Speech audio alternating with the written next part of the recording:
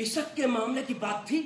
हम्म, ओए तो किसी ने ईसा पैदा कर दिया दिल में? हाँ। हाय हाय किसने? हाय तुमने। अरे हमसे तो तेरी पुरानी आस नहीं है। हम तो समझे थे कि वो तेरी मेहरी है ना बी अब्बासी उसी अरे अरे भाभी तुम भी क्या कर रहे हो अम्मा?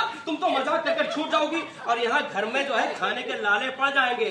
हम तो बात ये कह रहे थे कि जई हमारे आजकल भाईजान जो है बड़े आशिक मिजाज हो गए तो उस मोए को किस घाट का पानी पिला दिया? हाँ हाँ कह लो।